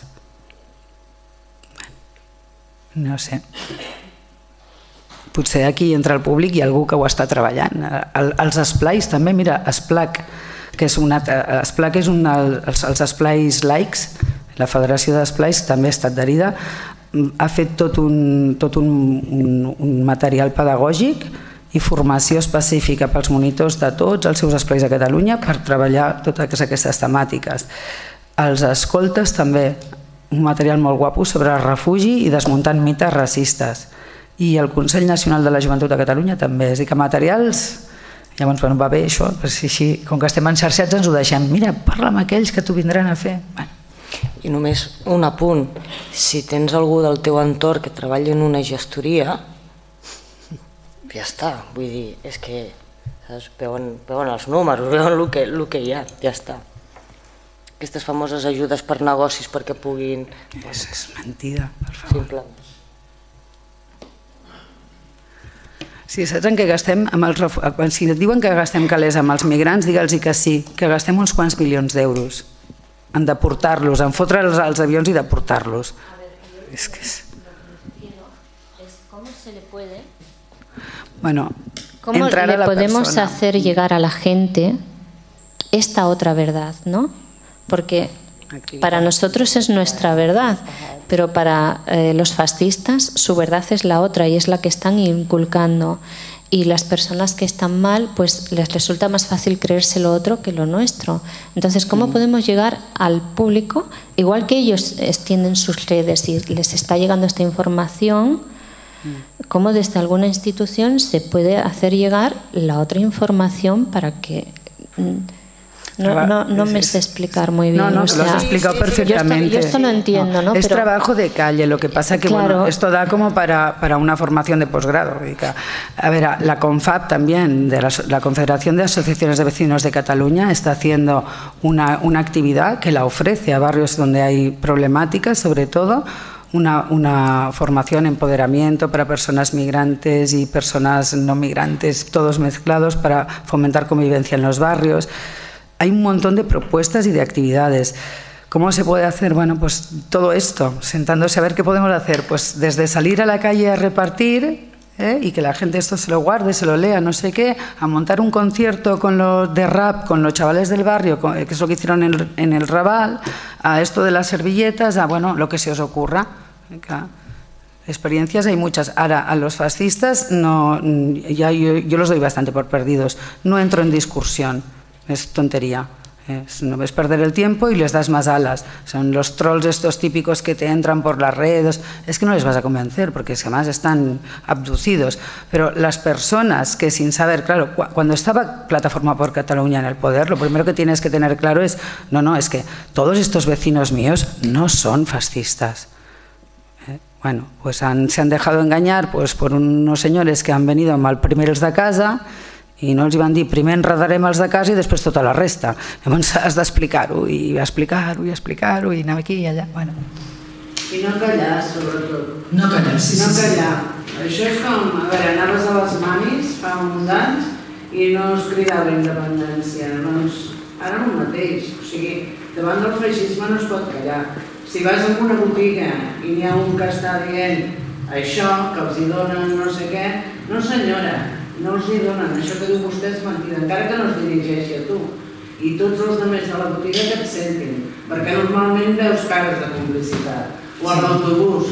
Oh, és que aquell mort li ha pres un pis al meu fill. No senyora, que li ha pres el banc. Què ha anat al món? Amb alguna pistola? Allà el seu fill a prendre un pis? Mentidera. I dir-li mentidera. I llavors se queden així. Però el que, el que dius que ha passat a, amb lo d'independència, independència, ha hagut un, un empoderament personal perquè totes no? ens hem anat sumant i aquesta altra part és una, com una assignatura pendent que tenim que és un procés exactament igual és perdre la por, anar creixent, anar sentir-te tu més forta i mica en mica va sumant, va sumant, va sumant. Perdoneu, hi ha, hi ha, hi ha, mans, hi ha, hi ha paraules demanades, eh? Ah, pues, abans. Sí, um, vull tornar a un exemple històric uh, de de lluita contra el feixisme que vaig verificar per, la Sant Jordi uh, fa més de cinc anys i um, tenia una preocupació era de saber si d'aquest costat del Pirineu s'havien traduït les obres dels freudomarxistes dels anys 20, 1920-2025 i ha resultat demandat amb recerques i tot que no. Eh, és que al final del de fascisme, tal com s'ha conegut tot el segle XX, eh, és sortit de la Primera Guerra Mundial al final d'aquesta guerra mundial va haver una conjunció que no es va fer exactament a Alemanya, sinó a Àustria. A Àustria va haver una conjunció entre lo de molt conegut de totes les obres sobre la psicologia humana de Sigmund Freud, i després el fracàs, al mateix temps el fracàs feu després al final de les obres de, de Sigmund Freud, el fracàs eh, social, econòmic, etc. de lo que era Alemanya, l'imperi alemà i austro-hongrès, que doncs, era una fatalitat per tota la gent que no havia participat a la guerra i que estava ciutadans per això. De, de, I d'una altra banda, l'exemple que sempre veiem les coses eh, diferents perquè han dominat les, les imatges més tardives del primer govern de la Unió Soviètica. El leninisme dels tots primers anys, que eren gairebé anàrquics que era de moltes llibertats de totes coses i tots no els hi va anar bé de, de, de continuar. Però, I doncs va haver-hi els alumnes de Freud, una part d'ells van agafar una consciència social i uh, alguns van escriure, per exemple, que molt bé tot això de Freud, però fer-ho només per seure al sofà amb uno que estirar al sofà una senyora de l'alta burgesia de Viena no serveix i s'ha de fer socialment, s'ha de fer coses socials. I així va néixer el corrent de sociomarxistes o freudomarxistes que se van dedicar a fer, eh, a ja primer definir el feixisme i segon, el que, van, que, que, que estava molt ben estudiat al nivell individual, de per què una persona té un caràcter molt tensat, té agressions, perquè totes aquestes coses ho van teoritzar, estudiar i teoritzar per veure com funciona el nivell de, uh, de societat. I des d'aquell temps vam pensar, trobar que en aquesta societat, més que tot de Viena, eh, era els jovens que també amb l'exemple de, la, de la Unió Soviètica, de liberació, d'alliberament sexuals de jovens.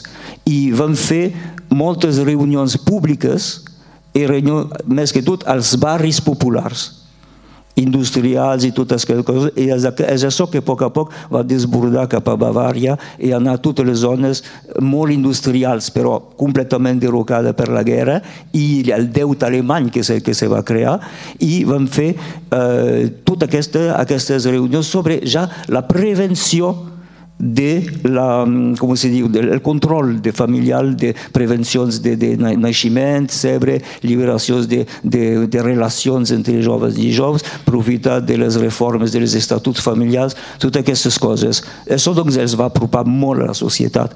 Després, tota aquesta gent per força sortien els arguments econòmics, per força sortien totes aquestes coses, veien que tot això era u causa, u fruita d'infrontaments, i és així que se va verificar que els feixistes lluitaven contra aquestes coses i va, uh, un dels més coneguts que pff, Europa Occidental va ser de, uh, però no va passar el Pirineu, uh, era al final dels anys 60, va ser molt un tipus bestseller a França als anys 68, uh, va ser encara molt practicat a les universitats angleses i tot, la difusió dels, de, dels seus escrits, um, és um, Wilhelm Reich.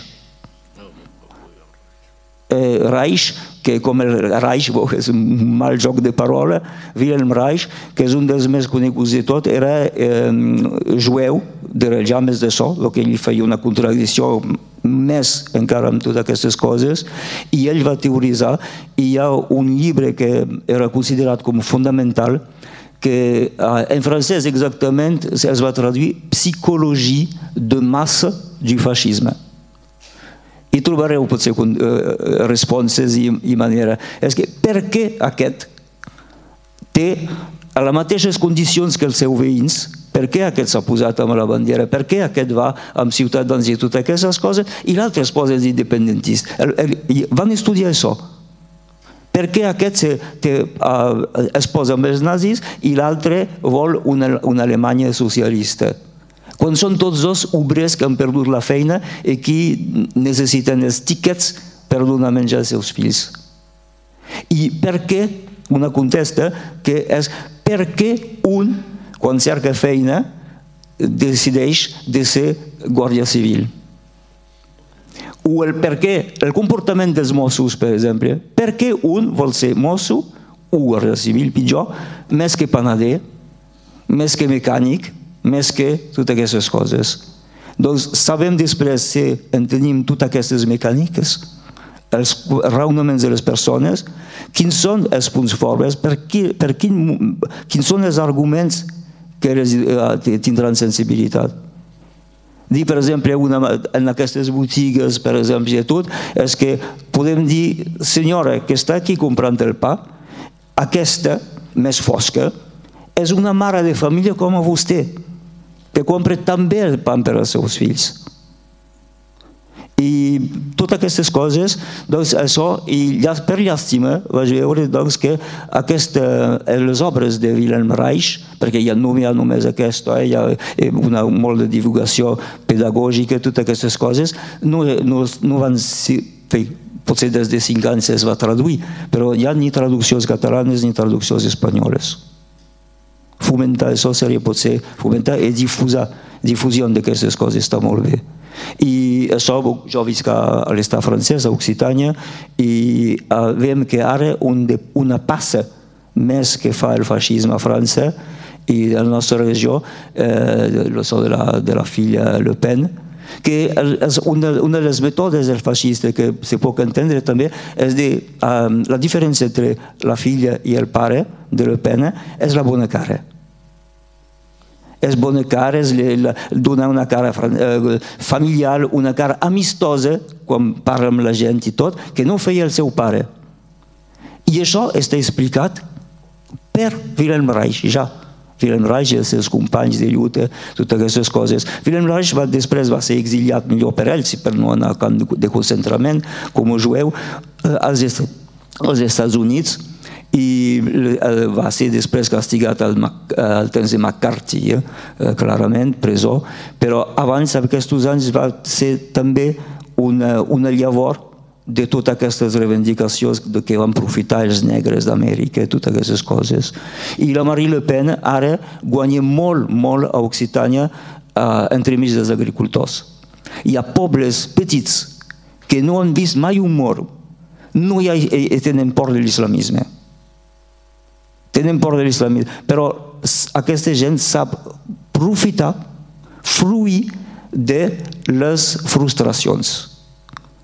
La base de la, del, del rendiment, el que fan, la, la, el material que fan servir els feixistes en general són les frustracions. Primer perquè ells tenen frustracions.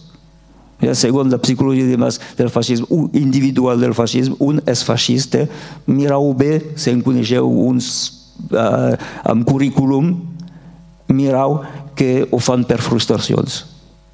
I, per exemple, un pes a l'estat espanyol eh, pot haver sigut eh, tota una, educa una educació dominada per l'Església.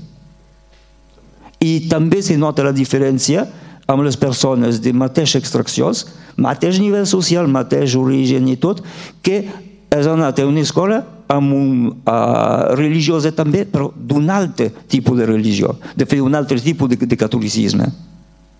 Més oberts, més i tot.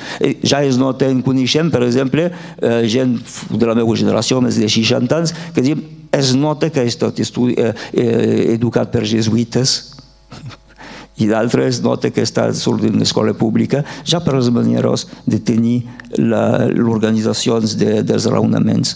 I eh, això, doncs, per acabar, es pot dir gairebé es pot dir que tot això del feixisme, a vegades les reaccions feixistes que podem tenir en altres, involuntàriament, el feixista, la seva base són les emocions. Els antifeixistes són el raonament. I qualsevol ja, qualsevol cosa que podem fer doncs, per les emocions, zero informacions, zero cultura. Doncs qualques coses que, coses que podem fer per informar, per educar. Jo, per exemple, quan, quan uh, la meva feina que feia als museus a França i tot, vaig participar eh, a l'alfabetització de jovens adults.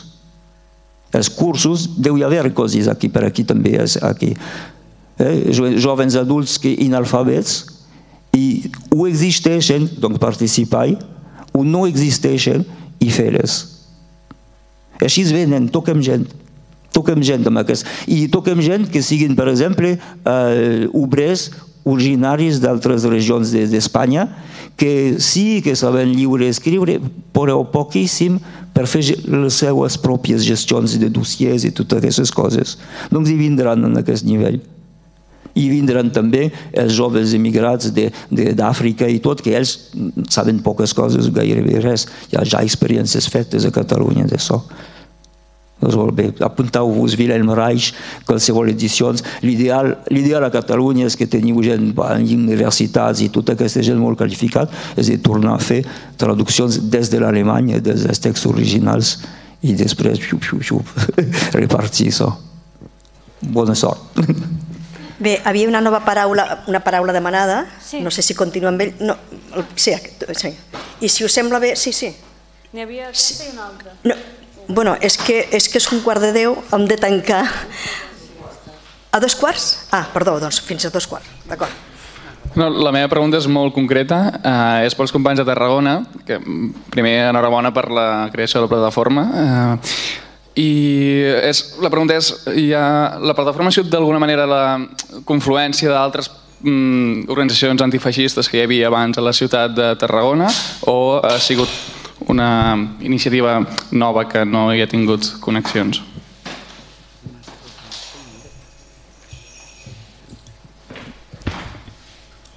Eh, és, és totalment nova.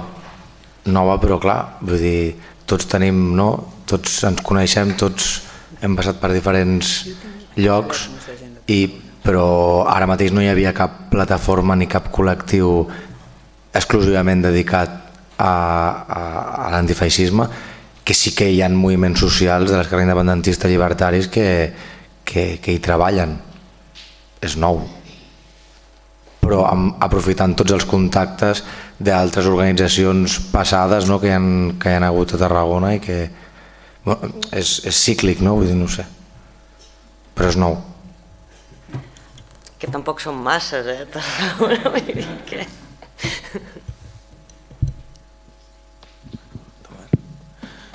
Bones. Molt, moltíssimes gràcies per haver vingut, sobretot. Eh, jo crec que tenim tres reptes que són, alguns reptes que són molt importants.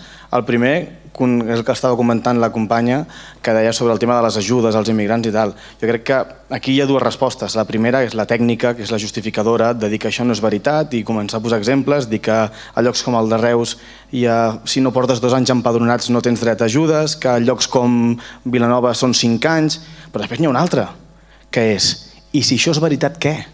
El problema no està si aquestes persones reben ajudes o no, el problema està en que tu ho necessites i no ho reps. I aquí el problema està no en l'immigrant, sinó en qui ho està gestionant políticament. O sigui, li hem de donar la volta amb aquestes coses. Perquè si la meva veïna que és musulmana té quatre cotxets perquè és musulmana, primer això és una absurditat. Segona, pregunta't si ho necessita. Perquè què vols? Que vagi amb dos cotxets i necessita quatre? Això és el que tu m'estàs dient, tu que també necessites ajuda. A la gent se l'ha de fer reflexionar amb això. O sigui, el problema no és qui en té, el problema és qui no en té. I això és una cosa que moltes vegades caiem amb aquest bonisme de dir no, no, no és veritat, no se'ls dona als immigrants. Doncs pues mira, segurament no se'ls dona prou. Igual que tu. I aquí és el punt de partida. Això per una banda. Llavors, eh, canviant radicalment de tema, eh? crec que una de les coses que... Un dels reptes importants que tenim també avui és aprendre a identificar quina és la nova cara que té el feixisme aquí.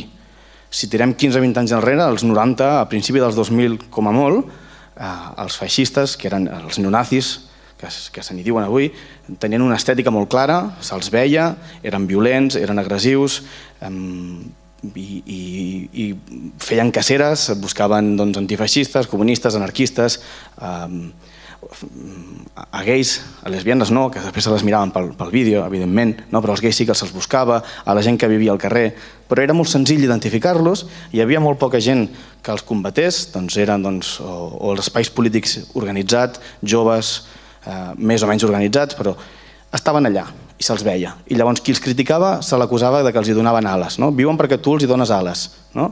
Molt bé, però avui dia resulta que els neonazis eh, ocupen cases, quan l'ocupació és, un, és una aposta política que sempre ha defensat principalment el moviment llibertari. Doncs ara resulta que hi ha nazis que ocupen cases. No només ocupen cases, sinó que després es posen davant d'un supermercat i fan davant d'aliments. I això el feixisme i els neonazis no havien fet mai, i avui sí que ho estan fent. I això és molt important que ho veiem, perquè d'aquí en surt la convivència i la normalització dels neonazis. És nazi, sí, però és que m'està donant de menjar. I els immigrants tal, i aquí tornem al primer punt.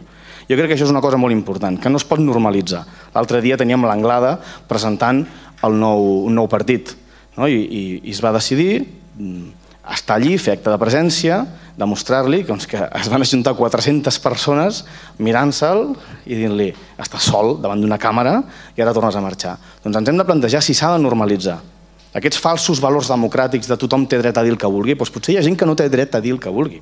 No s'ha de ser tolerant amb la intolerància. I el senyor Anglada no, pot no podem normalitzar un feixista i un racista dient que això s'està convertint en un eh, no sé què musulmà i que d'aquí 10 dies les nostres dones... Mira, hem, de, hem de veure fins a quin punt s'ha d'acceptar aquestes reflexions de la gent que digui el que vulgui. No. no ens convertim en intolerants per no tolerar la intolerància. Això crec que és una altra reflexió. I la tercera, el tercer repte, que crec que és important, que és que això no és una aposta individual, és una aposta col·lectiva i, i el que s'ha de fer és instar tota la comunitat.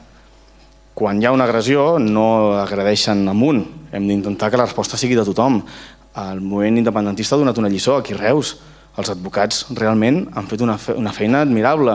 Que hi ha hagut repressió? Hi ha més de 100 imputats al Camp de Tarragona després de l'1 d'octubre. No hi ha ningú que estigui posant un euro d'aquests 100 imputats. Hi ha uns advocats que han ofert la seva feina. Això és una resposta de la comunitat. Doncs aquí s'ha de fer el mateix. Ningú ha d'estar agredit en solitari. I, i s'ha de començar a interpel·lar absolutament a tothom. S'ha d'anar a les escoles i dir volem fer xerrades per explicar què és el racisme i què és el feixisme. I si algú diu que no, doncs s'ha d'explicar. No se'ns deixa explicar què és el racisme i què és el feixisme. O sigui, no podem normalitzar el no poder parlar de feixisme. Crec que això és una cosa molt important i és un dels reptes que hem de tindre i que, per exemple, la unitat contra el feixisme fa molt bé no? I, i que s'adapta a cada municipi i crec que és una reflexió que hem de fer a partir d'ara, de veure mm, identificar-lo i quina és la resposta que necessita el feixisme nou que hi ha avui dia, que no és nou, és reinventat, evidentment, perquè estàvem parlant de noms, no? parlant del PQQet, aquest. Uh, clar, la gent, hi ha gent que feia 10 anys que se'ls havia perdut la pista i després resulta que surten fotografiats a l'Ateneu de Nou Barris i que és la mateixa gent que surten amb una altra, és la mateixa gent de tota la vida reinventats, amb una, s'han tret uns polos Fred Perry i s'han posat unes altres samarretes, però és la mateixa gent de sempre el que ara han après a conviure amb apoderats de ciutadans als plens municipals, per exemple. Però és la mateixa gent que ha sigut sempre. Ja està. Gràcies. Bé, pensem que comença a ser l'hora. No sé si alguna intervenció més. Algú més vol intervenir? Jo volia, respecte a tu i altres, les últimes intervencions que han hagut ara, parlar del tema de barris, no? perquè això que dius és veritat. O sigui, eh, la gent parlem i no sabem ben bé del que parlem. Els barris, els extraradis, no els barris de luxe, sinó els barris obrers de l'àrea metropolitana de Barcelona, de Tarragona, a Reus, han sigut manipulats sempre pels partits polítics de torn. Els han utilitzat, els han donat festa de barri, perquè no surtin a la plaça major del poble perquè no sempre fan bonic, li, forten, li posen la festa del barri i de tant en tant els han donat pixet, una miqueta de pixet. No? Ara això no es pot fer, no hi ha diners, no es pot fer. Els barris tenen moltes necessitats, la gent dels barris tenen moltes necessitats i se sent, ens senten manipulats. I arriben uns altres que els manipulen igual, però pensen que com, eh, de la mateixa manera que abans qui els manipulava els hi donava alguna coseta, els que els manipulen ara també els hi donaran. Això no és així, però ells ho pensen. Perquè realment als barris no s'ha fet justícia social, s'ha donat una mica de caritat. I el que reparteix entre els pobres dels barris és misèria, no reparteix justícia. Llavors, quan reparteixes misèria, no reparteixes res, reparteixis, emboliques odi, o sigui, eh, em poses una bassa d'odi en el que tothom es banya perquè no hi ha res més, no? i l'odi entre els pobres. Són incapaços de veure, perquè entre altres coses no se'n preocupen massa de la formació de l'educació de la gent dels barris. Als barris els nens han faltat moltes vegades a l'escola i ningú ha fet res per obligar aquests nens a l'escola. Aquesta gent, aquests nens que ara tenen 20, 30 anys, 40 anys, són gent sense formació, amb molt poca formació, gent fàcilment manipulable. I és la gent que es creu perquè li diuen, i com que m'ho diu aquell que et sap molt i va amb corbata i traje, no? que me diuen que al moro de turno li donen el renta vaixelles i li donen el pis gratis, no sé què, jo m'ho crec perquè ell sap molt. No? Però aquesta gent que s'ho creu això ara també es creen les mentides que els polítics li deien abans, els polítics de torn. O sigui que aquí tots hem de fer un examen de consciència de quina responsabilitat tenim tots en la situació actual dels barris i com pensa la gent dels barris. Tots tenim responsabilitats, perquè a tots ens ha anat molt bé eh, de que es quedin allà, es quedin al seu, a la seva zona, eh, visquin a la seva, al seu carrer, al seu barri, a la seva festa, no cal que vinguin a la festa de la ciutat, perquè no és necessari, ja s'ho muntem gratis. No? Aquí hem de fer un, una reflexió tots, i a, molt, a molts ens ha anat bé molts de nosaltres han portat els nostres fills a determinades escoles públiques en els que no anaven els fills d'aquests barris. Igual que ara hi ha molts pares que no porten els seus fills a escoles públiques perquè hi ha molts moros, doncs abans no anaven perquè hi havia molts xarnegos o perquè havia molta gent pobre o perquè els nostres fills portaven una samarreta de no sé què marca i aquells nens portaven unes bambes del mercadillo. Això passava fa 40 anys. I això està passant ara en diferents, i menys. No, no, és que han passant 40 anys, 30, 20 i continua passant ara. És difícil, el missatge és difícil. Fer arribar a aquesta gent és molt difícil, perquè estan tan manipulats pels diferents personatges que han pol·lulat per allà, que ara creure ningú és prou difícil. No?